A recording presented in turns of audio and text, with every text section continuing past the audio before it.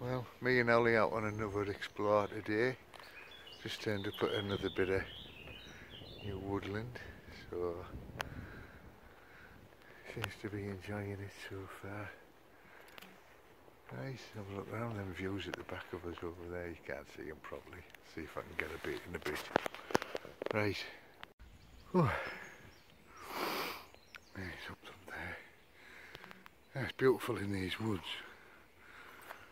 I'm off the, uh, well off the main tracks in that now, like, as you can probably tell by the lack of them. But, uh, yeah, it's absolutely gorgeous. Ollie! Here he comes. You enjoying it, son? You're liking it here, aren't you? Eh, Dad's good boy.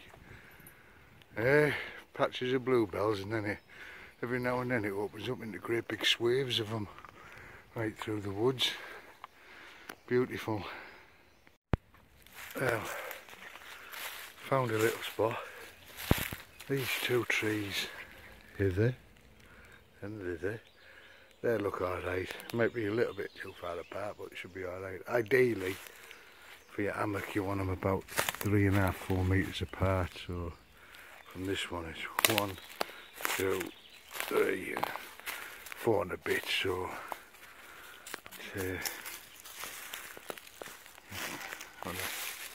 have a, another mess on, took my coat on with a lather. It's absolutely beautiful day yesterday. Uh, there's Ollie. At least he's happy he's found a clump of grass as normal. I'm sure he was a cow in a previous life. Right, crack on and try these nuts and things out. And that's my tarp set up. Just pegged down by the corners. I could have tied it up if I wanted to, I could raise that up and onto the trees there. But yeah, this only came, this tarp's only a cheap one, with the four corner eyelet and the top centre one there.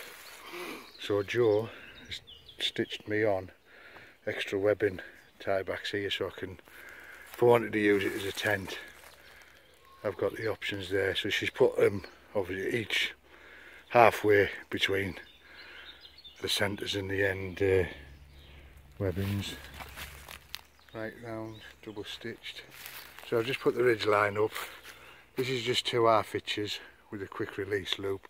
So just put that stick in there to uh, stop the loop coming through. It, it shouldn't do, but you never know. So it's just a safety thing so the loop can't pull back through on itself. So that's just two double hitches. Oh, look underneath. Room to walk under. Nice and cool. And at the end, this side is just a trucker's hitch so that's basically a loop that's fed back through, pull it tight, tight, and then another half hitch with a quick release loop with a stick through again, just stop it pulling through. So basically when I do take it down, all I need to do, pull that stick out, pull on this tag end, and the lot will just come undone. Uh, as it's just pegged down there. Okay, nice and cool. Ollie's just wandering about out here somewhere. But obviously then it gives me room to just hang the hammock. Hang the hammock through. Have to keep shouting him because he's getting braver and braver. Ollie! Ah, oh, there he is. Oh! There he is. Dad boy, you having an adventure as well, son? Good lad. Right, so why it's quiet and that here, I'll uh, hang the hammock and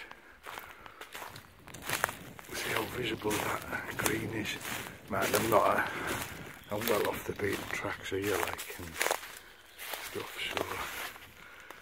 So I suppose far enough back, it wouldn't uh, wouldn't stand out. It's aiming quite a dense wood. So I'll put the hammock up and see what it's like under it. Right, I am on. I'll just show you these straps. These are tree straps. Basically a strap that cause no damage to the trees at all. They're all super tree friendly. Now the other straps I had was just the tree hugger with one loop down at the very end like that to click your click your carabiner into on your hammock which will make sense I'll show you in a bit but with this new strap it's what's called a dolly strap so all the way down it it's got loops so you don't have to faff on. Come wrapping your strap round God knows how many times till you get the right height and the right hang. With this you just click it into the next strap into the next loop so your hangs right uh, and also with that hanging down as well and your carabiner it acts as a bit of a drip cord. So when you get water running down it doesn't run onto your hammock it'll just uh, run down the cord and the carabiner man saying that there'd be no harm putting a piece of paracord on that as a drip cord but hopefully it should work uh, he's found something he's digging away I hope it's truffles I'll get you some more in his ball. I think it went off then for some reason. I think it was recording before. As I was talking. I probably knocked something to be honest. Yeah, there we go. Yeah, to be a lovely little summer camp there. I mean you could, even now really, I've got a four season bag. Plenty of insulation, be fine under there. Uh, I'll definitely come here like. Right, get a brew on. We need water. Uh, stove's on again. So I think we'll have a brew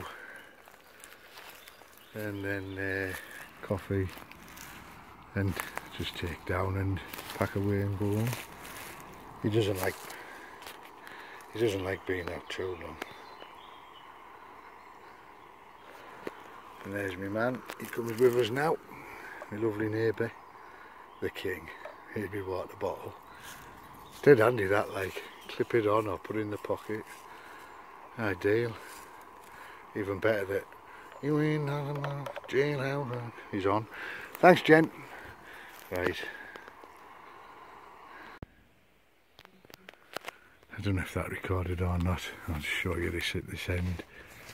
That persimmons loop. So I basically go through there. As I said, it's just a, a loop. You go over a few times and once it's under tension, it doesn't move. As soon as you loosen it, you can move it up and down. But once it's under, it won't go anywhere. He's just chilling now. We've had our coffee and be on our way. I'll apologise if that repeats itself because I'm not sure whether it's recorded last time or not. And I just stick them all in together because I haven't got to edit anything or anything. Well, I have, but I'll just stitch them together on a thing. I haven't got anything flash, so uh, there we go. Just packing up now. Hammocks down, and I'm just taking this tarp down, and then we'll be on our way home. Right, I'll just see if I can demonstrate how this quick release thing works. So as I said, I put a stop it, stick in to stop it slipping. If I take that out, then it should just pull. That's it, off. And should happen with the half hitch the other side, but I'm gonna just pull this line in first. So that was basically my full camp. in them two small bags. Here's my hand. That's the hammock. And that's the tarp. That's with the pegs are in there for the hammock and the guidelines. Um, for the tarp, sorry. And then obviously in that bag is just the hammock and the straps for the tree. And there's my little bum roll. And that's basically full camp apart from my cook set that's inside there. That was it. So yeah, I mean, obviously extra I would take, if I was going to stop, it'd be my sleeping bag and my self-inflating mat. And in the bag itself, I've got other bits like a first aid kit.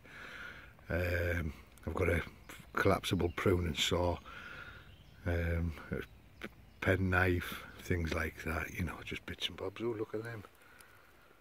I'm going to go for it on the frying pan. Get out, missus. Stuck together. Off my bag. Mucky buggers.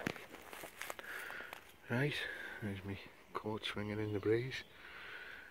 Right, well that's it. We're going to just put this stuff in the bag, walk out, call it a day. Again, leave no trace. Wouldn't know I've been here once I pick his lead up and that. So, there we go. Always respect your surroundings. Don't forget we don't own these woods. Mother Nature does. And normally a landowner. So the less mess, well no mess at all, uh, then they can't have a go at you. Or have a worse go at you. But they don't tend to bother you. Okay, bye for now. Thanks a lot. Cheerio.